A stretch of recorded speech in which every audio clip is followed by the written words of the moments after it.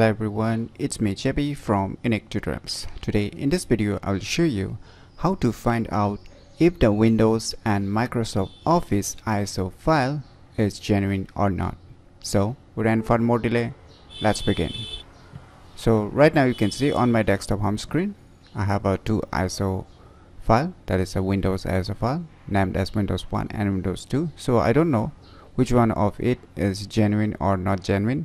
So how to verify or find out whether the respective Windows or Microsoft Office ISO file is genuine or not. So for this what you need to do just open any web browser and in the Google search you need to search for one application name as Windows and Office Genuine ISO Verifier. Just search this name on the Google search and you will see its official website on the first list. Just click on it now you can see its official website. So here you can see a download option written. And even you can just go below and check which are the versions it supports. Don't worry it supports almost every Windows ISO and Microsoft Office ISO files. So just click on download and start downloading the file wait for a few seconds so the file has been downloaded. So let me go to the folder where it is being downloaded and let me close the web browser. So it's a zip file. So just double up click it to extract the file.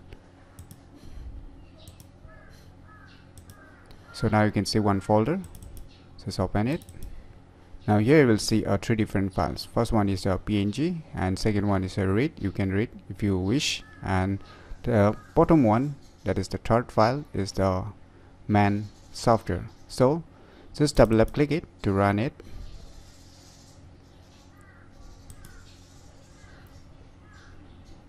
Wait for a few seconds. So finally you can see the user interface of these applications. So what you need to do you can see on the first list input file. Just click on it.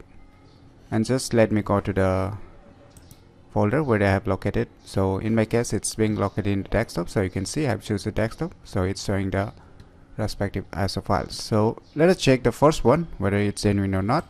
Then after checking first one we'll check the second one also. So let's find out whether the first ISO file which we have selected the Windows 1 is genuine or not. After that click on open. Now you can see here options to verify right?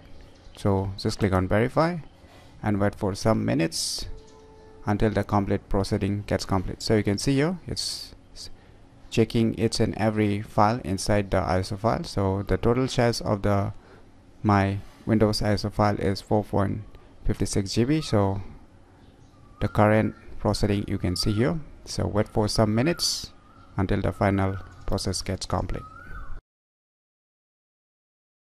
So finally you can see the Windows ISO file which I have checked just now is not a genuine right?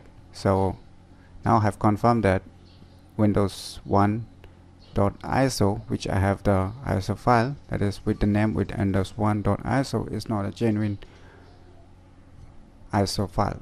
So let's verify the second one to check out whether it's also genuine or not. And just repeat the same process after selecting the file. Just after selecting the file you can see here. To verify just click on verify. Wait for some minutes again until the complete process gets complete. So finally it's also showing that the windows iso which we have right now is also not genuine. So both the iso files are not genuine. So if it, you have a genuine iso files then it will definitely show you the genuine here written as genuine. So in this way using this cool software you can find out whether your respective Windows ISO or Microsoft Office ISO file is genuine or not very easily. So if you never known about these cool tricks then definitely you should try it out. And if you find any difficulty in understanding this video tutorial feel free to leave your comments below. I'll try my best to help and guide you with your problem. So if you find this video tutorial useful click on the thumbs like button. And if you're new to our channel click on the subscribe button. And lastly thanks for watching